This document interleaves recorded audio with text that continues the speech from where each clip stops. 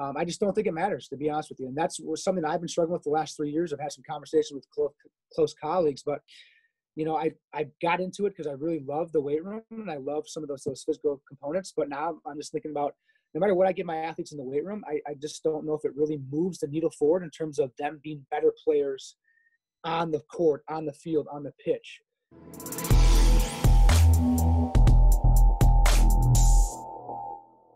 Welcome to the Upside Strength Podcast, your number one resource for all things fitness and performance in Switzerland.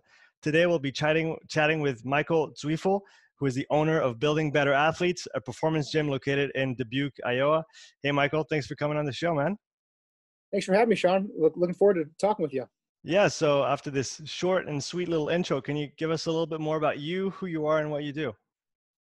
Yeah, certainly. Um, so I'll just start here and work backwards, I guess. But I, yeah, I currently own uh, Building Better Athletes. Um, like you said, here, here in Dubuque, Iowa, we work with, with, a wide range of athletes. So in a given day, we'll see every make and model of athlete you can think of, from you know an eight-year-old to a six-year-old and everything in between. Um, so we work with every different sport. Um, the main sports that we're probably working with would be like American football, uh, baseball, basketball, track and field. Those would probably be our primary uh, athletes that the sports that we work with.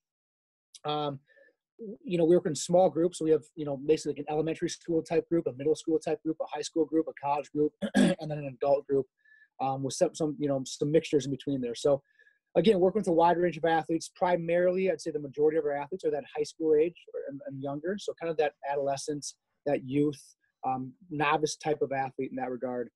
Um, but yeah, doing this now for I think it's been about almost a decade now, about eight years, uh, owning Building Better Athletes and, and, kind of growing and working um, in the in the private sector. During this time, I've also actually been on and off with the with the college teams. I, I've been a, a strength coach um, in a local university. They're NAIA, which isn't NCAA, and so I work more as a consultant with them. Um, doing that for eight years, and then for actually a five-year stretch, I was a, a uh, an assistant strength conditioning coach at a local university as well. So been in both the private and public sectors. Um, played American football in college and professionally. Um, actually played overseas in, in Vienna, Vienna, Austria, um, for the Vikings. Um, after uh, the Packers released me, I was with the Green Bay Packers for a short time. Um, but yeah, that's kind of the, the brief history there. Yeah. So from transitioning from you as an athlete, how did you get into coaching? Was that a natural transition? How did it happen? Yeah, I think I've always, I always knew I was going to get into coaching. My, my dad's a, a, a, football, American football coach. He's been coaching for heck, 40 years. Um, so, you know, I was, I grew up in a football locker room. Um, I, I, always knew I wanted to coach. Um, just what capacity, and I'm still kind of actually tackling that question. Uh, you know how I want to move forward with this, but I always want to be involved with coaching in some some capacity. But I, um, my summer jobs during high school, summer jobs during college was was coaching. You know, local camps, uh, whether it be football, basketball, back with the high school, or just like back in college when I kind of started this training athletes because I, I, I always loved the process of working to get better and I always enjoyed um, the, the, details and the nuance of all the different components how they how can they affect and influence uh, performance. And so all my summer jobs are always you know coming back coaching camps or just running you know one-on-one uh, sessions with certain athletes in the area that knew who I was and wanted to train with me. So um, just something that I always knew I wanted to get into. I was very fortunate um, coming up um, not only had my father as a coach in, in, my household, but had a really great high school track coach and basketball coach that um, were really great mentors to me. And so I was really fortunate to have really good coaches as I was coming up and, you know, wanted to give back um, to some of the athletes, you know, hopefully in some capacity that I was able to uh, have when I was coming up. So, um, you know, I was was going to be a coach. And so uh, it's been it's been a great, a great experience uh, being on the other side of the uh, spectrum from an athlete now to being a coach. So you talked about the different components and the nuances. Can you tell us a little bit about your, from your point of view, from your, your philosophy of coaching, what are the pillars of physical preparation for sports? How do you break it down in your own mind? Yeah, um, I wouldn't say I necessarily have any pillars that I've kind of laid out. I'm definitely you know, when I listen to podcasts or talk to the coaches, I mean, they seem to be a heck of a lot more organized probably than I do. Um, like laying out things in, in a certain plan. I definitely don't think that way. And I probably don't coach that way either. Um, but I can tell you this, you know, being in this now for close to a decade, like I, honestly, I, I don't, you know, I'm, I'm probably viewed as a strength conditioning coach, um, but I don't necessarily, you know, put a lot of eggs in that strength, that strength in the weight room type of basket with my athletes. Um, I just don't think it matters, to be honest with you. And that's something that I've been struggling with the last three years. I've had some conversations with close, close colleagues, but you know, I, I got into it because I really love the weight room and I love some of those, those physical components. But now I'm just thinking about no matter what I give my athletes in the weight room, I, I just don't know if it really moves the needle forward in terms of them being better players on the court, on the field, on the pitch. Um, I'm honestly got to the point now where I'm hoping that you know my influence is a. We can probably talk about this later on, but like movement, I really think the on-field actual movement um, training is is where he, me as a preparation coach makes the biggest impact. And then you know probably even more so than that would be if I can somehow influence and change behavior or um, you know the other 23 hours of the day that the athletes aren't with me um, so if you know hoping to make some sort of habitual habits or behavior changes in nutrition their sleep. I, I, think that probably outweighs anything that i could ever program in the hour that i'm in the gym uh, with me. Um, so that's where i've gone. And you know probably really started back in high school when i really you know wanted to maximize who i was as an athlete. It definitely when I saw the biggest improvements and jumps was when I really took care of and I understood the importance of what I put in my body is vitally important. So my nutrition, my supplementation, how I took care of my body in terms of sleep, in terms of uh, taking care of soft tissue, in terms of recovery and rest. Um, those were probably the areas, the categories that again, not many kids my age at that time, 15, 16 year olds were, were taking, were probably even considering those things. And that's where I took a jump being a really good athlete to being, you know, really well known in the area in the state for my performances because I really I, I, knew that that was my advantage and that was for me mentally and I know this is a very common mindset in athletes like I'm going to train harder than anybody else I'm going to spend more time on the field or more time getting up shots or whatever sport it is I'm going to spend more time practicing it well, I, you know what I try to tell my athletes is that hey that's a good mindset to have obviously but we all know that we only have a certain amount of capacity for to perform work because otherwise we, we break down, we get injuries. You know, but when I tell my athletes in that, what I what my mindset was that I'm going to find that advantage. I'm going to do more than anybody else nutritionally. No one's going to eat as as good as well as I'm going to eat. No one's going to sleep and have their bedroom environment, their sleep environment, you know, to the quality that I'm going to have it. No one's going to take care of their bodies like I'm going to have it. So you know, I try to stress my athletes there's way there's uh, much more ways to have that competitive advantage than just spending more time in the batting cage or more time getting up 5,000 shots a day, wherever it may be. You can have that competitive advantage by your breakfast, by your lunch, by your dinner. You can have that competitive advantage by what you do that half an hour before bed. So there's a lot of different ways that I think I my when I see myself is I want to affect that. If I can somehow, you know, influence and affect behavior and, and habitual change in terms of maybe their habits before bedtime, maybe it's their breakfast, whatever it may be. Those are all areas that I don't think many athletes, especially young athletes, think about that. That component could be just as beneficial, even more so than spending an extra half an hour practicing your sport. And so I, I try to make that very clear. Um, again, I don't have certain um, silos or, or, areas or uh, categories that I try to lay out with my athletes, but I just want to affect that other 23 hours. And I think that's where, as coaches, I think we probably have more influence and impact than the hour they, that, that they are with us. I think those other 23 hours are much more beneficial. So I'm trying to really work on the last couple of years of how I can touch and influence those other 23 hours that they're not with me. Yeah, I like that idea of the the other 23 hours. What are you doing then to to make to make the difference? So I want to come back to this later on. I do want to come back on on the piece of uh, of the strength.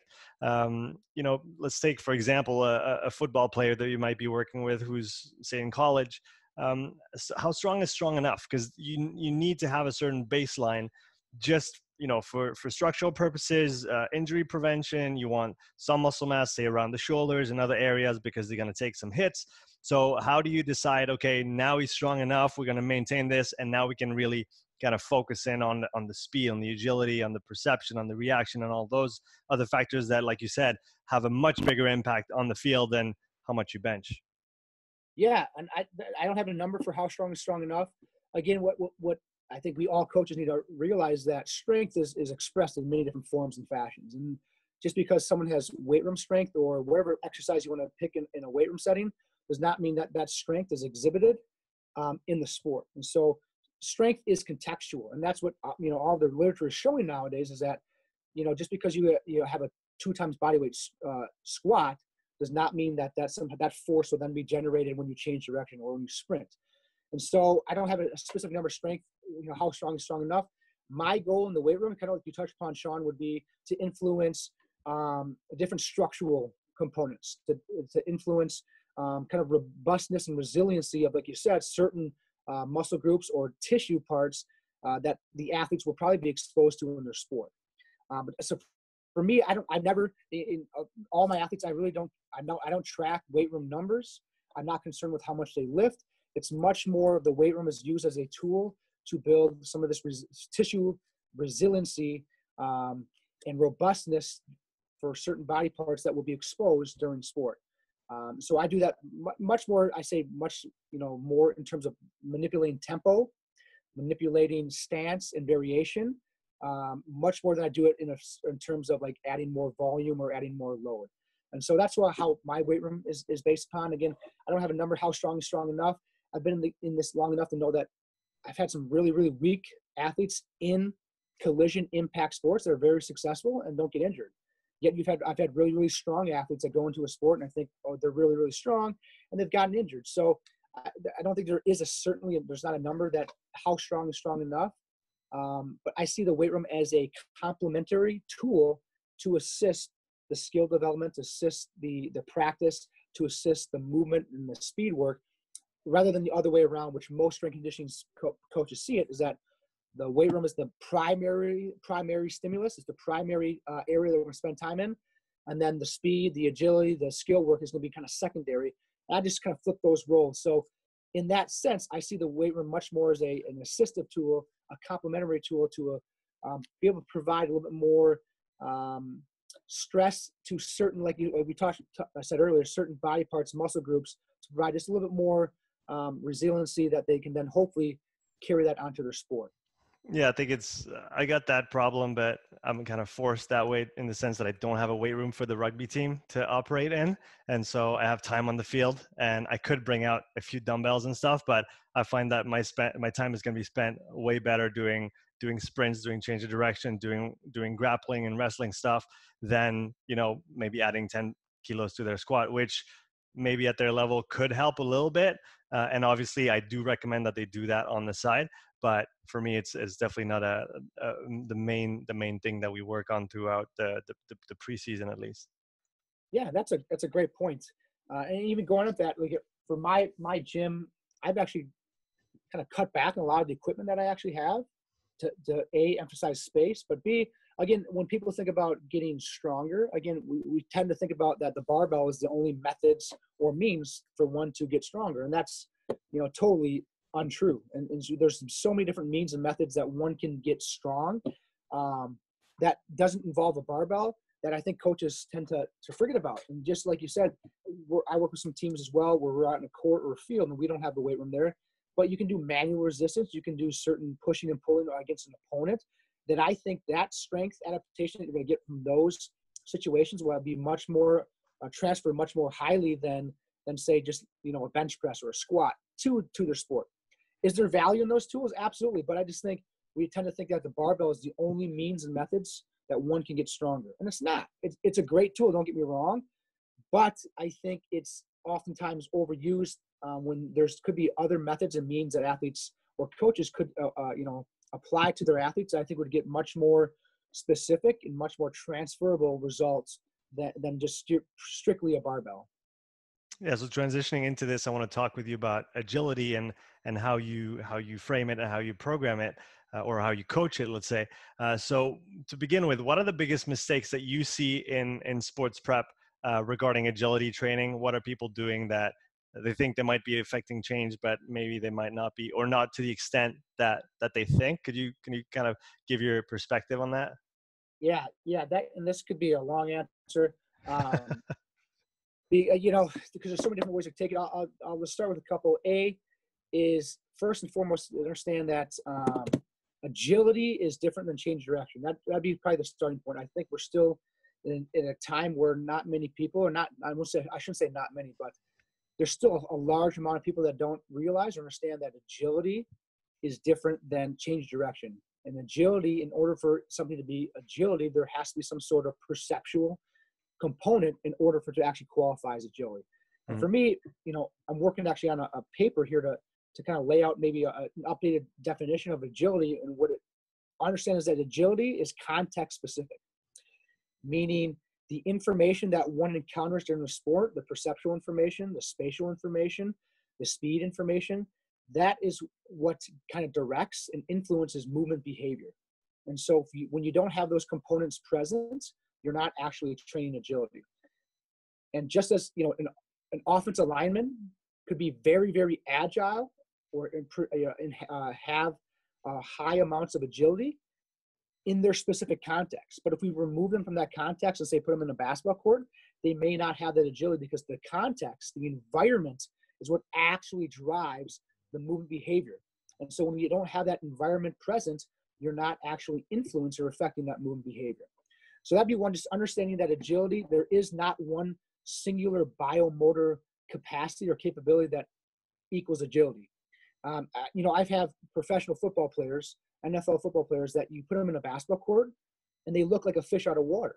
Well, if they have such great agility in football, and these are skilled position players, a cornerback and a receiver that are playing in the NFL in football, but you put them in a basketball court and they seem, they seem to lack or possess that agility. Well, that just shows you that agility is it's not this universal thing that just one possesses. And no matter the context, you have agility. That's not how it works. Same as hand-eye coordination. People think that hand-eye coordination is this universal thing. Same thing. You could take a you know a professional baseball player, put them on a, on, a, on a golf course, and they would look terrible, right? Well, it's it's still swinging an implement, trying to hit a ball, but all of a sudden it's the context, the information, the environment is different. Therefore, the behavior and the movement is different. Um, so that'd be one, just understanding that agility is a lot more complex and, uh, than change direction, which involves cones. And that would be the second point would be this. Most people, I think a lot of people are starting to realize that and understand that.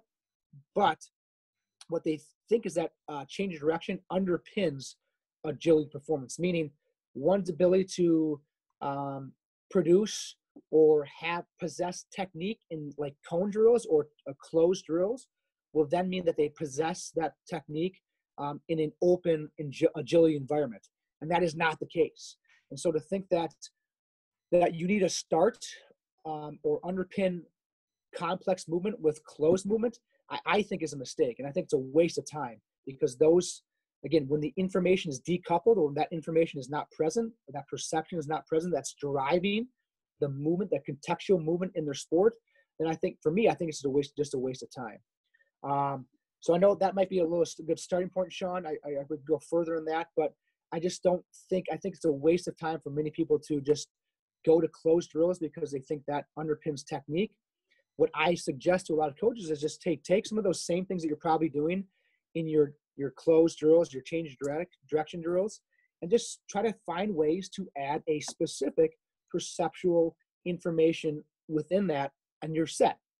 Um, so for, for me, that might be just putting another human body in front of them that they're moving off of. Um, that may not, most sports, um, minus like, you know, like swimming, diving and things like, that, most field-based sports, the information that's very present in all those sports is another human body. I'm reading, I'm reacting, I'm perceiving another in, uh, human body. That's the information I'm deriving. That's that's directing my movement.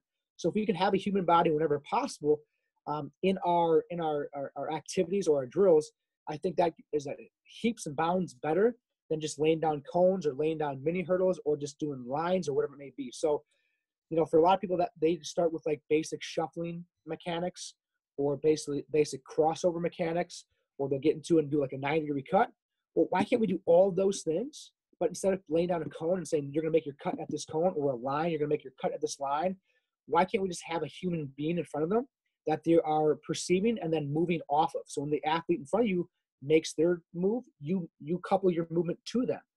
And that that in that situation, it's very it's just a small tweak, but now the athlete is actually getting uh, repetitions of tuning or being sensitive to the information that they have to react to in sport, and that's another human body for most people.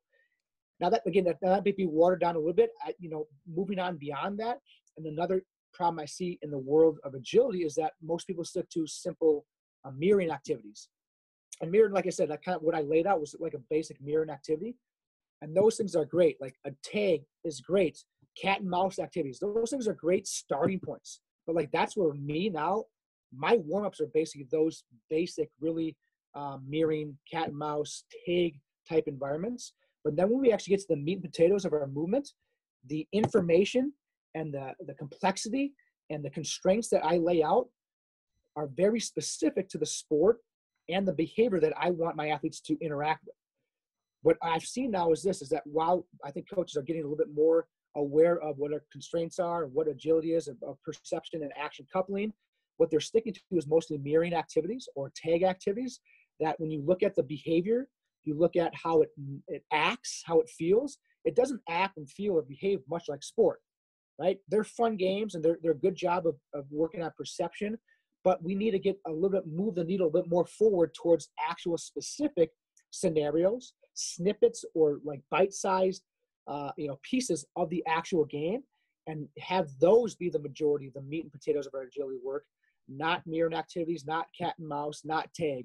Those to me now are like baseline stage one. That's where we start with. We I really don't go uh, I don't water it down any less than that. That's like stage one. Then we move on. It's a very specific. It's very um, uh, trying to again take snippets and pieces of a game, and how can we manipulate certain constraints to influence or manipulate behavior of our athletes. So again, I probably didn't answer quite maybe how you wanted, but we can definitely go in deeper this because this is a topic um, that I'm very passionate about. Yeah, when you were talking about the the difference between change of direction and agility, it it is, uh, I mean, evident in the sense that you have a closed versus an open environment. Um, but to play devil's advocate, maybe for a second, um, when you talk about linear speed, you would still teach uh, linear speed mechanics uh, without necessarily that open environment, correct? Or would you in that case as well go straight to an open environment? Or would you first practice close we're talking about novice people that don't know how to put a, a, foot in front of the other. Would you still teach them those basic mechanics before you move on to an open uh, to an open environment? So yep so two things with this uh, I'll, I'll start with see if i can remember them um, one would be this what i've done with linear is and by closed um, and versus open I have to get a little more specific in what you mean by that. But for me, when I do linear stuff, it's there's no I don't do really any more like uh, drill based. So no wall drills, wall switches, sled marches. When we do linear stuff, in a sense, it's all open. Meaning, when we're trying to inf- uh, affect and influence uh, maybe technical, mechanical change, it isn't an open environment. Meaning that they are actually sprinting or accelerating. So it's not we're going to do a wall drill breakdown a you know switches on the wall or sled march. Um, it is actually get on the line. We're gonna do what I call three step burst. It might be like a one step burst, one step burst, just one step out, and then kind of you know uh, uh, just uh, slowing down and walking back, and then we'll affect, affect change in that regard. So in, in a sense, it's open, meaning it's it's a full speed acceleration, and then we'll progress to maybe two steps, three steps, five steps, where it may be. So I'm not necessarily breaking it down into these this this kind of part whole part kind of what a lot of coaches do. I'm keeping the whole. Mm-hmm. And the second regard regard with that would be is this is that sprinting um, in general is a little bit more of a it's a more repeatable action than than kind of agility or, or movement in a field-based sport where it's so complex and so varying based on the scenario that you can get away i think a little bit with a little bit more um, actually just sprinting and working on some of the technical changes in sprinting while sport is so much more complex that i don't think there's any baseline mechanical technical positions or shapes or techniques that i want my athletes to work on because the sport is so complex. So that that kind of makes sense there. But um, so going back to, to sprinting what we do what i have changed actually um, in the last few years is that i will definitely 100% reduce the amount of kind of pure speed work that we do, I will start with maybe some burst and maybe a, you know um, some resisted runs or wherever the, the, the emphasis of the day is. But then as soon as possible, very quickly, we go into contextualized sprinting. They're holding the ball. They're getting chased. They're chasing somebody. So very, very quickly, I reduce that, say that closed component, and we get into some, uh, we get into uh, contextual sprinting. I do that a lot sooner and a lot more often than we than I do um, than I used to do. And so obviously fly 10s is a huge thing in the world of strength conditioning now. You know, we do fly, we I still do fly 10s, but I do a much more of getting chased or chasing somebody when we work on max velocity. So we, I want to work on max velocity. Why can't I just open up the space, open up the time, have someone chase or chasing somebody else, um, you know, decrease some of the the amount of op- component uh, opponents in the space in the environment, and that will influence and affect the speed one reaches. And so my speed work is definitely reduced in terms of the purely speed work, in terms of purely like a session is going to be dedicated towards strictly speed. I don't do that anymore. Like we're not going to do a strictly a 45 minute session, hour session that's purely speed. It might be 15 minutes of some bursts with some film review, um, technical review, and then we're going to get into a actual environment, a contextualized environment um, to, to see if, to work on speed in that environment. Um, so that's how I've gone to it um, in that regard. Yeah, that makes sense. I guess now that you clarified on that, because like you said the linear speed transfers to a lot of, of run uh, other different running patterns and when even if you do a cut or a crossover in in between those you're still sprinting. So that will it's worth kind of spending some time on the skill in and of itself but if you had to cut down agility into the cut the crossover the shuffle the this the that you would end up with like 15 different things to work on individually before you can put them all back into an open environment. So i guess yeah your, your answer makes makes total sense on that.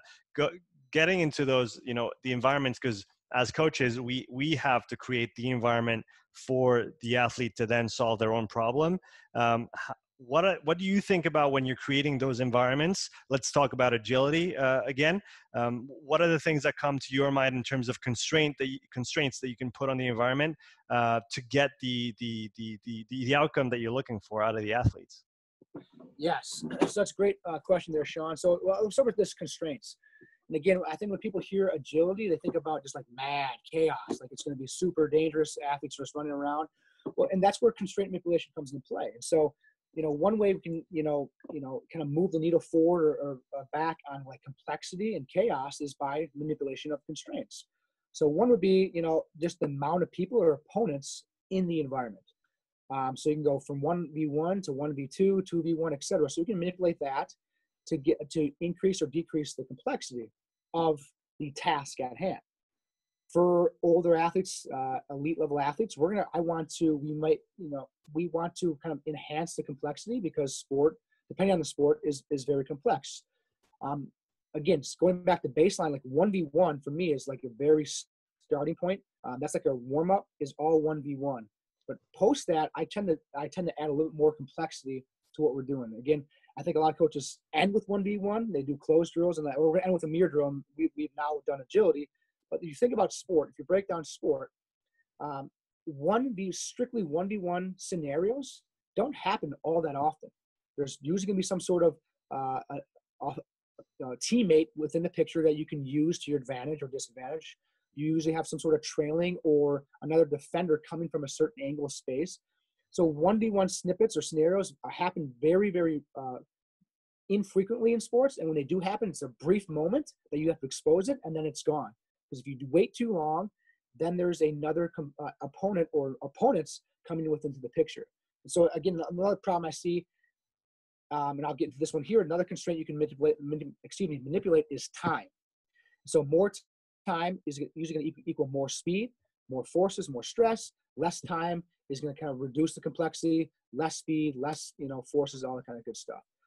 But what I see is this: time is one constraint. I think coaches need to do a lot better job of manipulating because when you do some certain mirror drills or environments or activities, what, what typically happens is that you give the offensive person unlimited time to all of a sudden they're juking around for 15 seconds, and not only are we out of like the bioenergetic kind of uh, energy system that we that's specific to sport, so that's not only specific to what you're working on.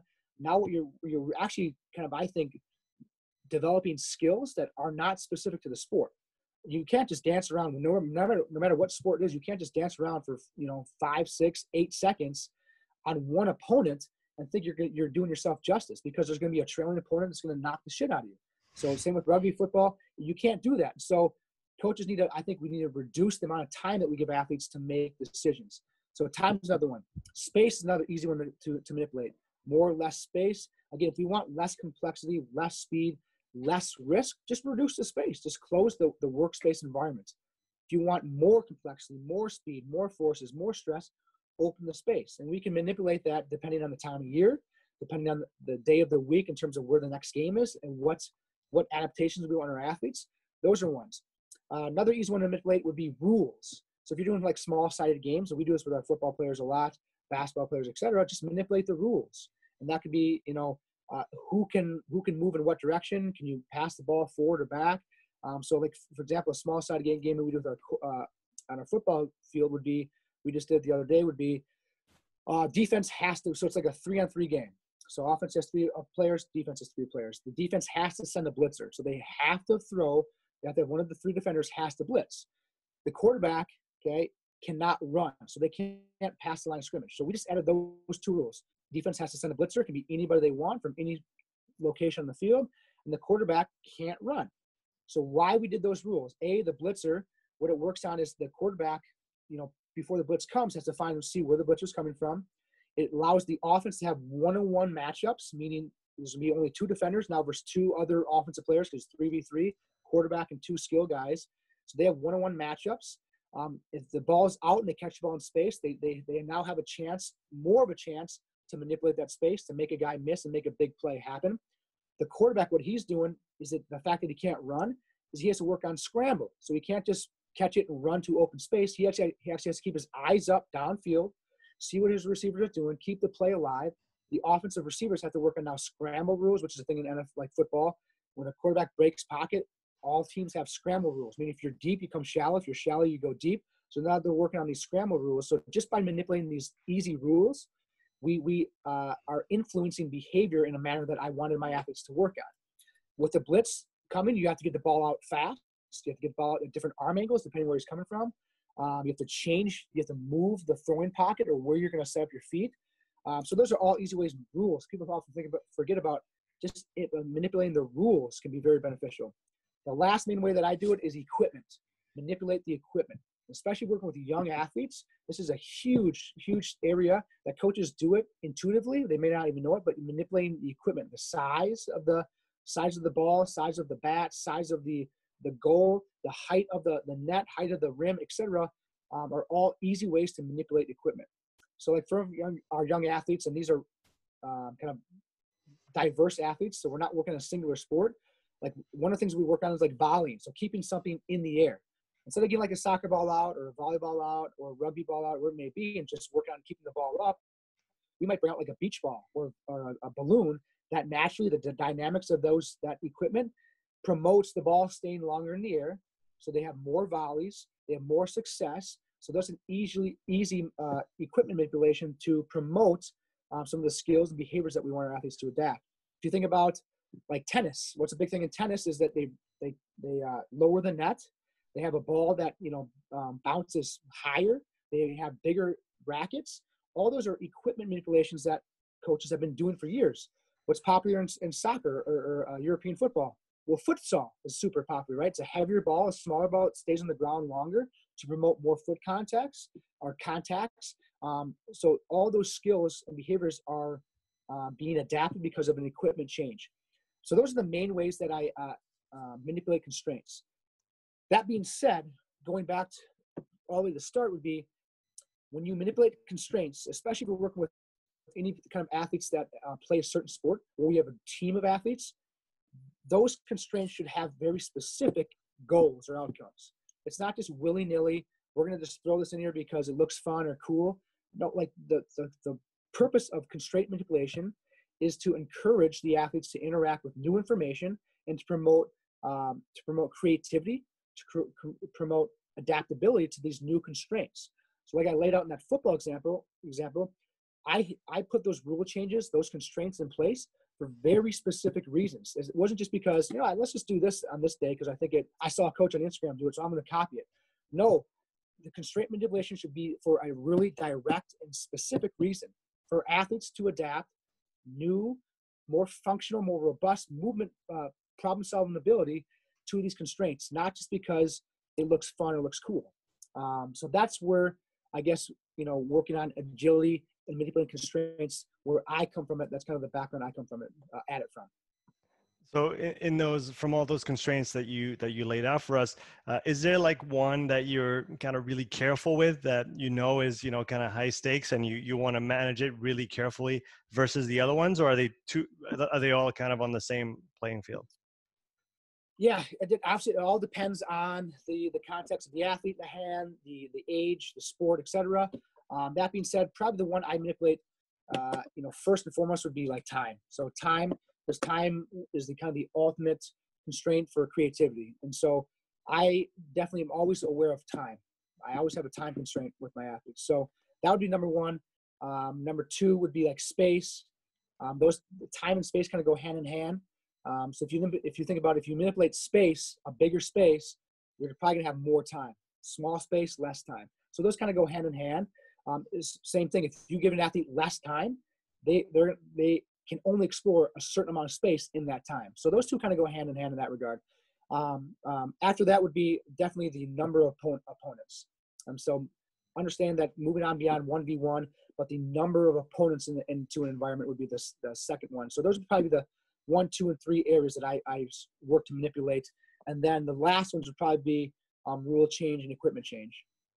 Right. That's that's really interesting. So I want to talk now about uh, teaching speed and more specifically teaching speed to youth athletes that don't have any experience any previous experience say in track or anything like this. So how do you take young kids who are still maybe a little bit clumsy and can't put a foot in front of the other and teach them the mechanics of, of acceleration and sprinting? Yeah um, that's a that's a great question a tough question i think if i had the answer i'd be a, a rich man. You know what, what how do you teach it? Again for me it's it's i don't break it down like I know whole part whole whole and, part whole is a, a, very popular thing, but I want my athletes to actually those young athletes to actually run fast, and or and or we'll just manipulate again certain constraints within the environment, whether it be adding like wickets or excel ladders or holding an implement.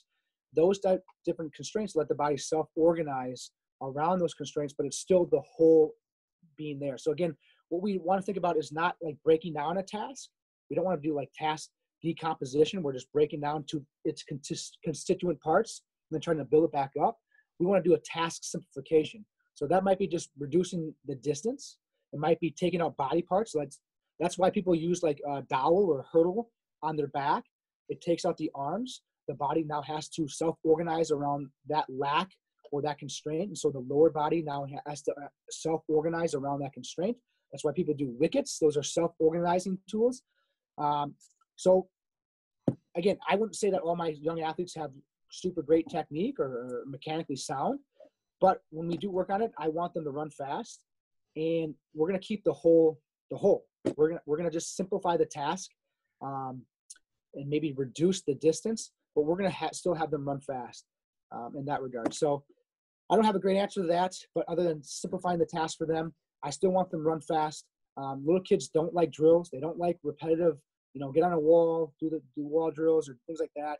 Um, instead, what I want to do is just manipulate their body or the, the environment and its constraints, and then let them self-organize around that. So the three favorite ways I kind of laid out two would be them holding some sort of implement, them going over like mini hurdles or just uh, little sticks on the ground, or just doing like lightly resisted running. Again, that's a huge benefit of resisted running is the, the self-organization effects, the mechanical technical effects that a resistance, some sort of resistance around your waist has, it automatically, your body automatically organizes around that constraint because it is a constraint to get into more effective and efficient uh, movement strategies. Otherwise, you're not going to be able to move yourself. So that's how I would do it.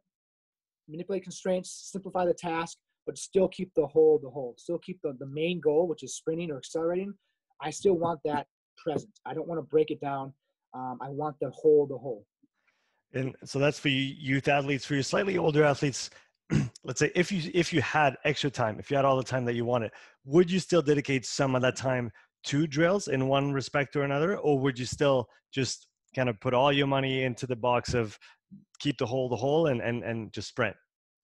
Yep, I, I put all the money into that that whole the whole. Um, don't do really any any uh, mechanical or technical drills anymore. So other than again if you, you could i guess you could count like resisted running as a mechanical technical tool or a drill that that's that'd be the, the gist of it but other than that um, no again, our athletes during our warm-ups, we may do some of our um, again working with a partner, perceptual type things. We may do some different like um, single switches, double switches during our warm-up, um, but they're oftentimes doing that off a partner.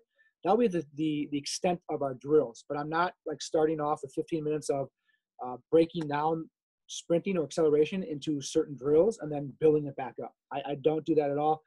Our athletes can tell you after we start basically every movement session with what I call, like I said earlier, with like bursts one, two, three, four step bursts. So they're going right away to the whole. It might only be two steps, but it's still a full go, uh, two step acceleration.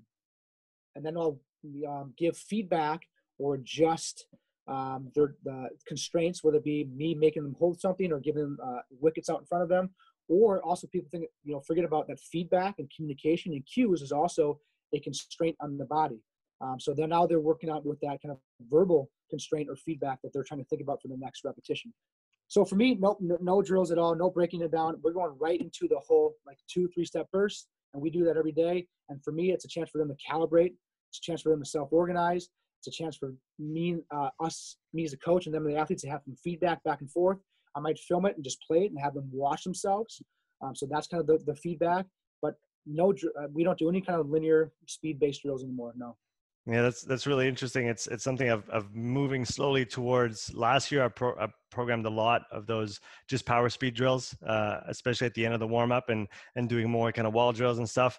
Uh, this year, though, we're gonna do we are gonna do a few minutes of just you know running, and then we're gonna go into our we're gonna go into our our acceleration and our speed work because, like you said, I mean, I don't I don't have a lot of time, so I got to make the most of it, and I think that that's where, I mean, that's where the game is is won or lost. It's not on is your you know can you bring your toe up with your knee when you're doing your uh, when you're doing your march and all that kind of stuff so uh, i think that's an interesting approach um, i've heard you talk about transitional speed can you can you talk a little bit more about uh, what it is and how it applies specifically to field sport athletes yes yeah this, uh, let me get that i love what you said earlier and that's i just want to kind of backtrack just a second before i get the transitional speed on sure sure why i got to this approach um, in terms of like cutting back all those drills is because that's I used to be very that way.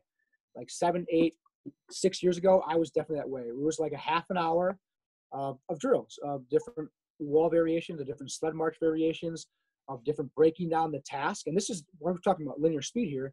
And what I saw was when we go when we went back to the whole, the athletes never really kept um, or transferred or retained any of what we worked on. All those drills that we worked on, all the cues that I gave them, all the things that when we actually had them sprints, or had them race or had them get chased or had them time. All those things went out the window. I thought, what the hell am I spending a half an hour for on these drills if, if it's not really being retrained or transferred? Why am I spending this time? And this was over years. Like I'm not seeing these kids. They look great in these drills, like you said. They could look great in a in a in an A skip or great in a wall drill. Then all of a sudden we get them in a contextual environment where they're not thinking about that and they, they they're not retaining any of those things. So why am I wasting my time on those things? It's it's almost yeah, go ahead, Sean.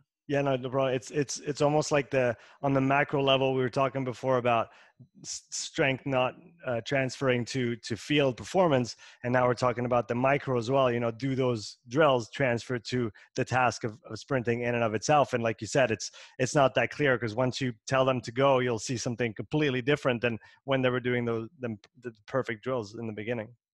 Yeah, and I saw this in an acute manner, like in a single session, like, all right, they're picking up my wall drills, they're picking up this the sled march, they're picking up these drills I'm, I'm laying out. I think, all right, they're getting better because they are getting better because they're just getting better at the drill. But then when I took them back to an actual open environment, those weren't retained. So not only was it acutely in like a single session, but I'd have the same athletes, you know, six months, a year, and they weren't getting any better. They're getting better at the drills. They were getting really clean and crisp in the drills, but they weren't getting um, mechanically or technically better in an open environment that would be back. That goes takes you back to agility, where this is linear sprinting, like a very repeatable, very kind of in a sense that's way more closed than actual agility in sport, right? That's just super complex. There's a in kind of a in you know exorbitant amount of uh, movement solutions that an athlete could have, and we're talking about sprinting. And I'm not seeing my athletes transfer in sprinting in a very repeatable, linear type fashion. But how am I going to think these cone drills? I'm working on these 90 degree cut and 45 degree to recut. How am I thinking that those things are going to transfer in a much more open, much more robust environment than linear sprinting? So that's kind of that was kind of the mindset um, of dropping down um, much of those drills, not only for linear speed but also for agility. That's why I kind of cut those out because I just wasn't seeing those things um, actually applying to the sport. It was just a waste of time. So going back to uh, transitional speed, yeah, if you again if you look at sport, there's a couple of research papers done. I think it was done in soccer and actually rugby. As much as like 60% of, of sprints in sport are done from some sort of transition. You're either jogging, you're shuffling, you're you're moving in some capacity, and you're kind of scanning the environment. You're searching the workspace. Some some information triggers you, and you have, then you have to transition to a sprint. Well, again, that's a different skill set than a stationary. Yet most speed work is strictly stationary, right? You're going to two point stance or three point stance, and we're going to go. Or doing a flying 10, you're just going to kind of start against, you're going to start statically and then into a sprint. But sports, again, you're moving in some capacity, you're jogging, you're shuffling, and then you have to move to 100%. So you're not, you, you're not having that stationary or static start into a sprint. You actually have to transition from some sort of uh, previous movement. And that's a different skill set. And so we try to include a lot of different transitional movements, and that's where contextual sprinting I think takes care of all that. Like if you're putting your athletes in contextual environments, there's going to be a ton of opportunities, a ton of instances where they're going to have they're going to be doing some sort of movement, a ball release or an athlete release or whatever it may be, and they're, they're going to have to transition into acceleration or a sprint from that previous uh, locomotion. So um, I think coaches need to get out of the mindset that we always got to train sprinting or speed or linear speed from a static position or static start. It involves, it's a lot deeper than just statically starting into a sprint. Um, just watch sport. Watch some of the big plays in sport where athletes are just jogging or they have the ball and they're setting up a defender by just lulling them to sleep, going slow, and then boom, you know, quickly sprinting by them. So um, I do a little bit in terms to address it, but I think when you build, when you start to think about building contextual environments, that kind of represent or have snippets of sport, those transitional periods are going to be automatically in there because that's what sport is. That's the nature of sport. Yeah, going back to uh, you, you touched on it briefly a couple times, but I want to talk about the warm up and how you uh, see it and structure it. Uh, maybe what would be interesting is can you give your your take on how did you structure warm ups when you started coaching uh, a decade ago, and how what do your warm ups look like now? Yeah, so uh, obviously a decade ago it was probably your traditional strength conditioning warm up. You know, you, you get kids in lines and they're going to do uh, world's greatest stretch, inchworms, knee hugs, you know, quad stretches, lateral lunges, etc. Um, depending on the, the day. So if it's let's say it's a linear speed day, then we're going to go um, A skips, B skips, C skips. We're going to do all the basic skipping drills, etc. Um, if it was a lateral day, you're going to do like just a, you know shuffle, uh, crossover step, a backward 45, um, karaoke, those type of things. Um, so that was kind of the traditional, was kind of what you probably see most people do. Now it is uh, much more of the whole warm up is kind of two things. Either one, if I have a specific uh, athletes from a specific sport, the warm up looks like sport. I want them to calibrate to the information. So if I go out my field with my football players, like we don't do really any of that. Like we'll get in lines and do slow speed, like pat and go, which is like a quarterback just throwing nice, easy fade routes to the receivers, while the defender is working with the, with the receiver. So they're coupled to the receiver, doing like an easy back pedal, turning the hip. So the, it actually looks like sport, but just at slower speeds, lower intensities, um, smaller spaces, uh, kind of um, um, less complexity. So that's kind of what our warm looks like if I have a certain sport that I'm working with. It is about uh, calibrating them to the information, uh, you know, uh, uh, them to the information much more than just simply we want to raise, you know, body temperature, get the CNS ready to go, prepare the tissues, etc.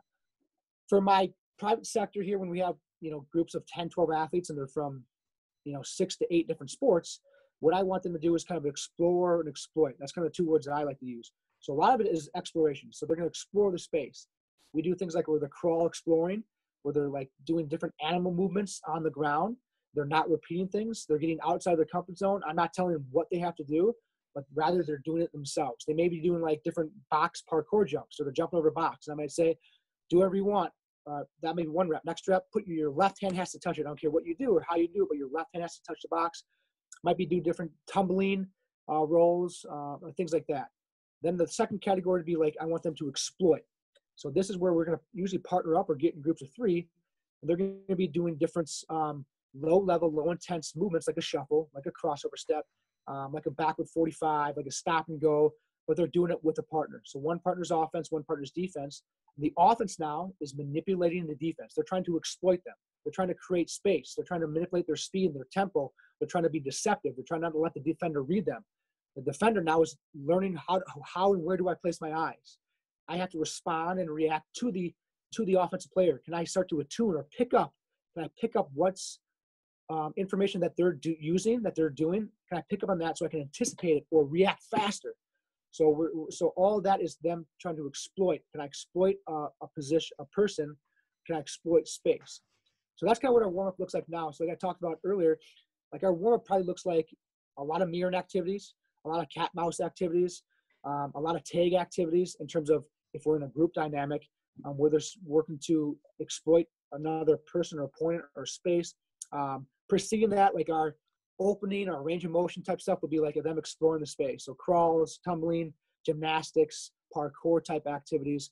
Uh, again, where there's no necessarily directions or instructions, specific instructions that I have them that they have to they have to accomplish. It's more about them um, trying to be creative, trying to be adaptable, trying to explore the space, um, that kind of thing. Again, with our sport athletes, it's more about calibrating to the information of the sport. It's going to look and feel like sport. Um, so different warm ups for different groups of athletes in different ages. Yeah, I think that's an interesting approach. Plus, it gives that that idea of you you you're right away into the thing. You're not like doing some you know quote unquote boring stuff for 15 minutes and then you actually get to the sport like you said the closer we can get to the sport whether it's in our warm-ups or in our or in our physical prep the better it's going to transfer and the better we'll do eventually um, or in the end on the field because we've just been doing more of it yeah, absolutely, absolutely. So all my older athletes, I got one sitting here in front of me actually, but like they know that when we get our warm up, we're usually getting into it, and it's you know pretty quickly we're into it. And so my older athletes that maybe need a little bit more time because um, of wear and tear in their body know they get here 20, 30 minutes early and take time doing some of those other things. But we're not gonna, I'm not gonna take my our our our like you said, we don't have a lot of time. We're not gonna take our time working on all those different things of where they're going to foam roll or get a lacrosse ball for 15 minutes. They're going to do their, their mobility type things. They know that they, that that's on them. It's part of that, that piece that we worked on, we talked about earlier, the other 23 hours, that they want to get here 20, 30 minutes early before session starts to get that stuff done because when they get here, they, they know it's time to go. And so um, my athlete just, he's an older guy. He's about 30, right? 30. He knows he's like, I said 15 to 20 minutes. He's like 60. so he's, he's here an hour beforehand getting the sauna, um, doing the voodoo bands, rolling out, doing all the things that he needs, not only physically but mentally prepare. But then when they know when it's our session starts, we're, we're going to get after it. We're ready to go. Um, so our athletes know that they have some ownership and autonomy on their end to get themselves ready to go. It's not to get something that it's not my job as a coach to make sure all my athletes are are emotionally, mentally, and, and physically 100% ready to go. I, they have to take some ownership in that process. And so that's kind of what we tell our athletes, and they and they understand that. So um, that's kind of how we approach it in terms of older athletes, or if they need extra work, they know they have to come here early to get it done. Yeah, that's that's really cool how you uh, essentially give responsibilities to the athletes to you know get get the work that they have to get done beforehand, so that when it's time to hit it, you can just get the get get to work kind of thing, uh, and that kind of rolls perfectly into the, the next bit the other 23 like you like you call it. Um, so how do you broach those topics with uh, maybe youth athletes college athletes who maybe don't want to hear about the the nutrition piece and the sleep piece and, and and the mobility and soft tissue work? How do you get into that with a population that's usually pretty uh, resistant to those ideas to begin with? Um just try. That's the only thing we can do is try. Um and again I'm sure half what I tell my athletes, my high school, middle school, even college athletes, goes in one ear and the other. But we try. I mean, again, just about everyone every day, we start with like a five minute minute educational piece. So we'll talk about, we'll have them fill out uh, what they ate for that day, and we'll just talk about it, have a conversation about it, see if they can add more things, or you know, why did you make that decision? You know, try to lead, try to peel back some of the layers of what, you know, why'd you have that for breakfast? Well, because I woke up ten minutes late. Well, all right. The reason they had bad breakfast is because they woke up 10 minutes late. So let's let's try to influence and affect that that sleep behavior because that will then snowball into having a better breakfast. But we I, again I'm sure my athletes get sick of it, or I'm sure I, sometimes I look at their faces and there's a glaze over their face. But we start like every session with five, five to ten minutes of like educational, um, whether it be just me sitting on a bench and we're just talking, um, or I have PowerPoints. So we used to call it meeting Mon- meeting Mondays or Talk Tuesdays. They come into our office. I'd have a you know a couple slides in a PowerPoint. We just talk about those things. Now, is it is it impacting them? I think some of them yes, some of them no. But um, that's part of the job as coaches that you just got to try and try to try to educate them and try to always just hammer away, hammer away, hammer away. Um, I know it's it's interesting because you know I'm probably pessimistic in that sense that I don't know if I'm if it's really reaching a lot of athletes. But then you always have that you know one or two or you know small handful of athletes that come back be like you know I worked I, I did this I had that super shake or I went to bed at you know 10 o'clock I was consistent I I, I got um, you know a blackout windows from windows in my bedroom. There's there's small athletes that come back and tell you those things that know all right at least I'm at least I'm you know uh, influencing or, or, affecting a, a, small handful of them. So that's all I can do is try. Again, I'm not. We don't have hundred percent success rate. Um, I'm sure our athletes get sick of me hearing it. Some athletes, it's like week after week, they're they're not changing. Um, they're not, you know. But you never know when that thing will click. And that's a beautiful beautiful thing with youth athletes, is that you never know when you know the light clicks or the, the light switches on in their head. You know, it's like you feel like you're talking to a brick wall.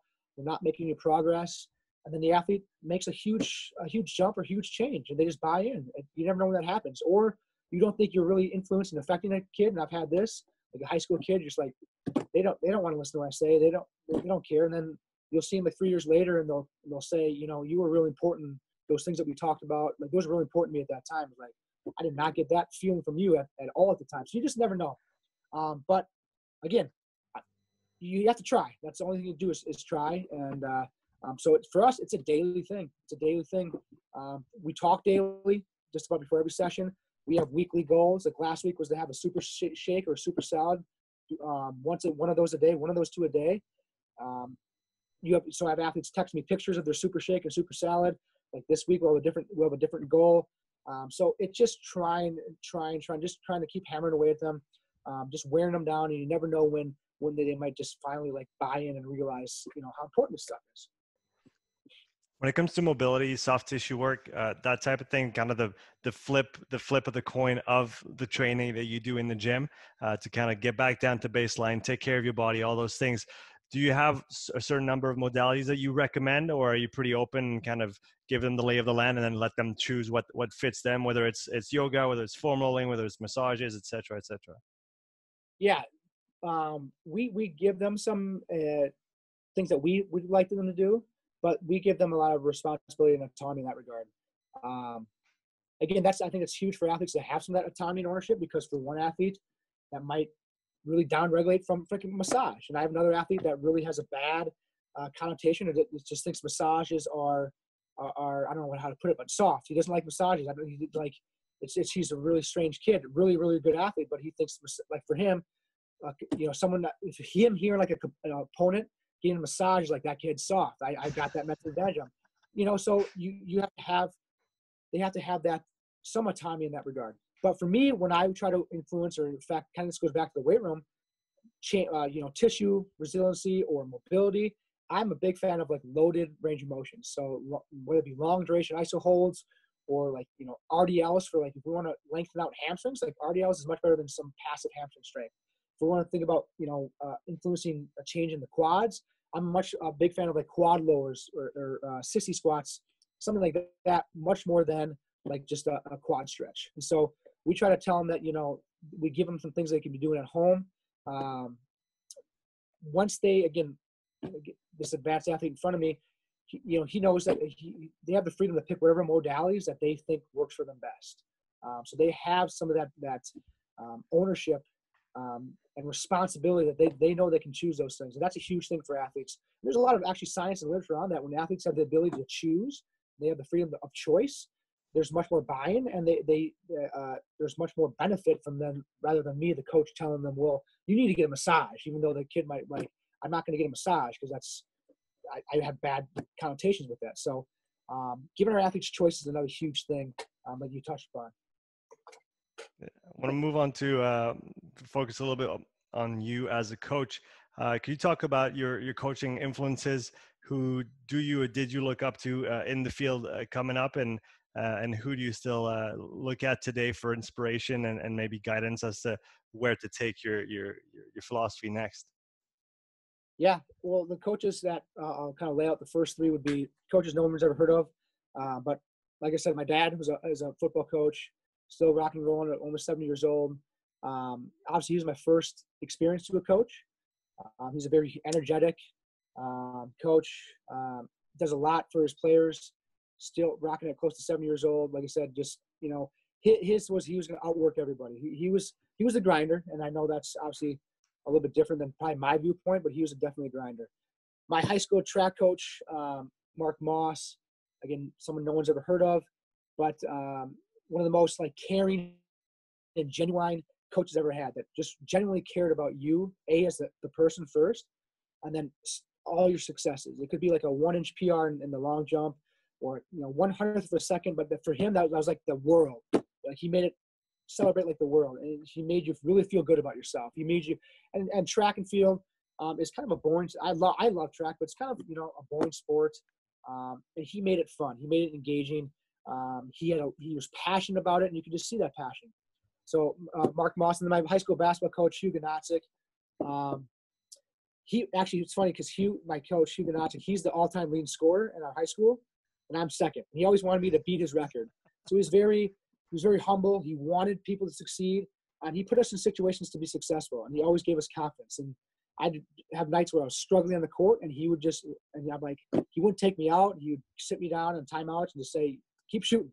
Just always admitted confidence to you, and always you know um, kind of gave us, gave me and the rest of our team freedom to do things. And, you know, we weren't afraid to make mistakes. We understood that making mistakes was part of the process.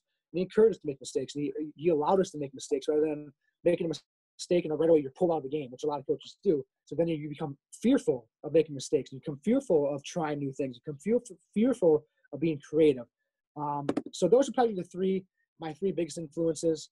Um, I don't really have a ton of influences in the world of strength conditioning, to be honest with you. Um, close friends of mine, Sean Myszka is a really dear friend.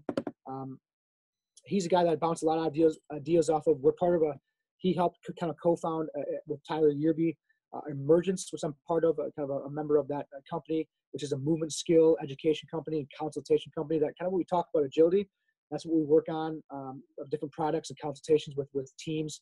Um, been really successful here. We've been open for about a year, but Sean's a guy that I've looked up for, to for many years, and always given me a ton of time. I'll start with one question, and all of a sudden we have a three-hour conversation. He's always been, been really willing and generous with his time. Um, but outside of that, I don't have a ton of coaches in the uh, in that are well known in the strength conditioning, conditioning field that I really look up to or um, look to for ideas and whatnot. I don't know. I've been pretty pretty blessed to have locally coaches that you know I've been able to bounce things off of. Um, so that's kind of what I stick to. Yeah, car- carving your own path. I like that. Um, can you talk about the game book that you put out? Uh, what is it? What it is? Who it's for? Because it's a it's a lot of what you do and, and how you coach your, especially the younger athletes, even the older ones. I mean, it, it's all framed into games, and we always say, oh, you, you need to make it fun. You need to make the, the kids want to do it and not like force them. So so where did that game book come from, and and, and what what does it do? Yeah, so the, game book, I've gotten a lot of questions over the years of different games and activities that we do with our athletes. And I finally, during the quarantine, was like, yeah, shit, I got two months here. Let me just categorize, you know, uh, these in different areas and put it together and uh, put it out there. So, you know, again, for me, again, our, my main population is that high school, middle school, adolescent, novice type athlete, where the huge vast majority of them aren't going to go on to play college. And, you know, we might have count in one hand how many of those kids will then go play professionally. Even so, the, the goal I think of working with young athletes isn't for isn't elite performance. It isn't high performance. It isn't to put them in college. It isn't, isn't to give them a college scholarship, etc.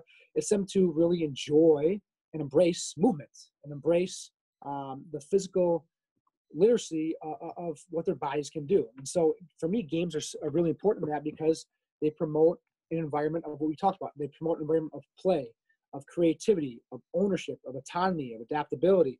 And those are all skills. Those are all behaviors that I think transfer to all sports. Um, and so for me, I think we, we oftentimes get caught up in the physical things, right? Well, we got to get stronger because when you're stronger in the weight room, we're going to be stronger in the field, and a stronger athlete is a better athlete. Well, behaviors also transfer. If I promote an environment that has ownership and um, has responsibility and allows creativity and allows athletes to make mistakes and allows them to kind of express express themselves, I think those behaviors show up in sport. That's what I want. We all want our athletes to have ownership and responsibility. We don't want our athletes in the field looking over to the sidelines or the coach, like, what do I do next? Like that'd be the last thing that I want. So games are just one avenue or one vehicle to to promote all of those qualities, um, and you know promote our athletes to be creative, be adaptable, and, and have um, have fun in that process. Because uh, I think that to me is really, really important, and it's really sad. Again, when I you know see young athletes come into our facility and building um, that are you know 10, 11, 12 years old, and they they lack those things. The kids intuitively and naturally are very um, creative. They're they're they like to explore, and, when those things are killed because I, I, see a kid come in and they they played baseball their whole lives, and every every second of their practice has been structured, and their their mom or dad has been you know telling them what to do their whole lives, and they come in and they come to me and they're like, "I'm let you do what you want. What do you want to do here?" And they're like, "I don't know." But that's just sad. I think a lot of kids are being robbed of their childhood by overbearing parents and coaches that think that what they're doing is developing elite performance. And in my mind, I think it's robbing them of elite performance. It's giving them, it's giving them a high performance at 10, 11, 12 years old, but it's robbing them of the qualities. You look at all high performers. Think about high performers. All high performers are very creative. They, they have they have autonomy. They have ownership. They have their own personal style. They're not robots. They they're great decision makers. Um, and I think we're robbing young kids of that if we're over organizing and structuring everything that we do with our young athletes. And so for me, it's a lot about uh, just having them uh, the freedom to explore, create, make mistakes, because those things I think give them the power and the encouragement to when they get to their sport to continue to, to, to, to do those things. And so again, if I look at every high performer I've ever worked with, is they, they have those qualities and they, they are not robbed of those qualities. Um, and so that's what I try to provide with that game book and with our youth athletes, just an environment for them to explore, create, um, have fun.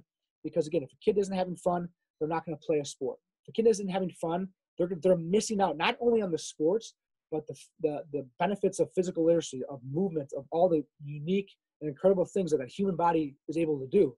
And that's why you, you see, you know, 25 to 35 year olds that are lazy or not lazy, but they're um, sedentary. They don't move. They don't under their bodies in uh, pain because they don't get out of the structured movement and explore all the unique ways that the body's capable of moving.